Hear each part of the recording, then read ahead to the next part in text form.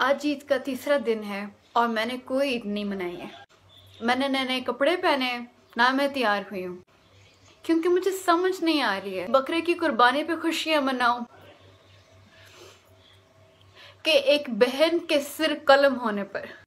आप लोग जो ईद मना रहे हैं, कैसे मना रहे हैं? हाँ हर कोई आवाज़ उठा रहा है इस जुल्म पर, लेकिन वो घटिया सोच जिसकी वजह से जुल्म होते हैं, उसके अगेंस्ट जब कोई भी आवाज़ उठाए उसे खामोश कर दिया जाता है। और जब इस तरह के वाक्य होते हैं, तब भी आपको पता नहीं चलता है कि हम कब से क्या चीख चीख के बोल रहे हैं। मतलब अगर औरत का सिर कलम ना हो डेड बॉडी ना देखें तो आपको एहसास नहीं होगा ये चीज़ें रोज होती शहरों में भी होती हैं एजुकेटेड औरतों के साथ होती है एजुकेटेड मर्द भी ये काम करते हैं। तो जिसने ये किया है, उसे गाली देने से पहले ना, आप सोचे शायद आप खुद गाली के लायक हों। जब तक आपकी छोटी सोच नहीं बदलेगी ना ये होता रहेगा। मनाए ईद